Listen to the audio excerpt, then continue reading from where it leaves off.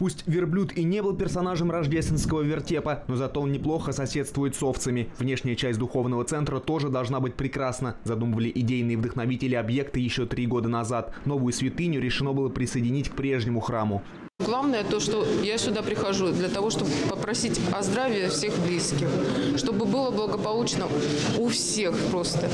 Прихожане к центру уже выстраивают очередь. Многие из любопытства. Храм, в котором есть место и Центру народной культуры, и библиотеке, и воскресной школе, априори вызывает интерес. Ведь такого в регионе нет больше нигде, кроме как в Ахтубинске.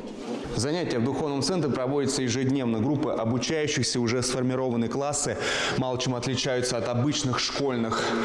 Различия в учебной программе здесь не выводят математические формулы, а скорее формулы с философским подтекстом. Идейный вдохновитель святыни Владыка Антоний. Именно с его легкой руки проект духовно-просветительского центра одобрил и патриарх Кирилл. В здании на площади в тысячу квадратных метров нашлось место даже спортзалу. Пока батюшка приходит, Отец Андрей Не, ну батюшки должны. Отец, отец Андрей, давай, давай.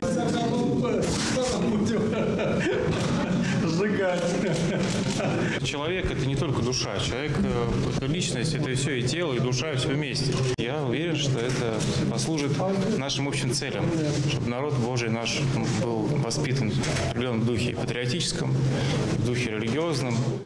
Какой-то степени возведение подобных духовных центров – восстановление исторической справедливости. В одном только регионе век назад разрушили сотню святынь. В их числе были и ныне позабытые духовные центры, в которых можно было не только молиться, но и просто проводить свободное время. Вот один период воинственной власти столетий назад э, в общем-то, шло по пути разрушения вот этого всего святого.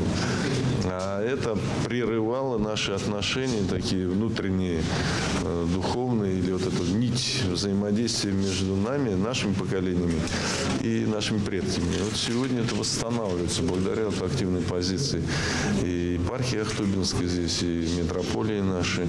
Главное, считают создатели центра, привлечь к нему подрастающее поколение. И это им постепенно удается. Первая рождественская литургия здесь проходила с участием 80 детей. Артем Лепехин, Руслан Срывченко, Центр новостей.